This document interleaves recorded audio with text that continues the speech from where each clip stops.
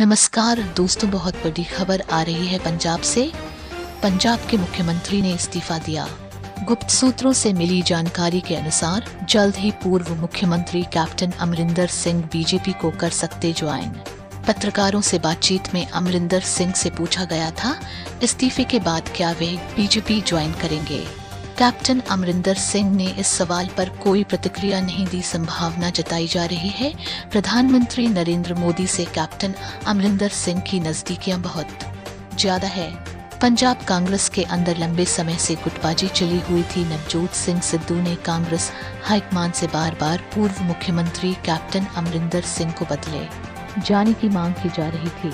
Captain Amarinder Singh ने खुलासा करते हुए कहा, वन महीने के अंदर तीन बार उन्हें दिल्ली कांग्रेस हाईकमान के द्वारा बुलाया गया, उनको बिना बताए पंजाब। कांग्रेस की मीटिंग करवाई गई। कैप्टन अमरिंदर सिंह इन सब बातों से काफ़ी नाराज़ दिखाई दे रहे थे। कैप्टन अमरिंदर सिंह ने कहा, उन्हें बार बार अपमानित किया गया।